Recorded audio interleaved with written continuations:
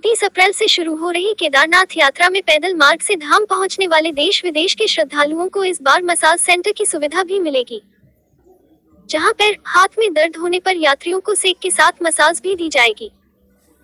पर्यटन विभाग के माध्यम से गौरीकुंड केदारनाथ पैदल मार्ग पर प्रारंभिक चरण में सात स्थानों पर मसाज सेंटर का संचालन किया जाएगा। जिला पर्यटन अधिकारी सुशील नौटियाल ने बताया कि पहली बार यात्रा मार्ग पर श्रद्धालुओं को यह सुविधा मिलेगी। सेंटर के संचालन के लिए इच्छुक युवा वीर चंद्र सिंह गढ़वाली स्वरोजगार योजना के ज़रिए ऋण प्राप्त कर सकते हैं। बताया कि इस सुविधा से यात्रा पर आने वाले बुज़ुर्ग जरूरतमंदों को मदद मिलेगी। अगर आप बद्रीनाथ केदारनाथ धाम में पूजा के लिए आज ही बुकिंग करना चाहते हैं तो यह खबर आपके लिए है। मंदिर समिति ने केदारनाथ और बद्रीनाथ यात्रा की ऑनलाइन बुकिंग के लिए अपनी website H T T P S colon slash slash Badrinath योजक चिन्ह Kedarnath dot gov dot I N slash खोल दी है।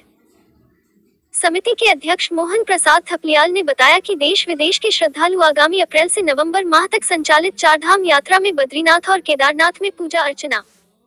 दर्शन के लिए बुकिंग करा सकते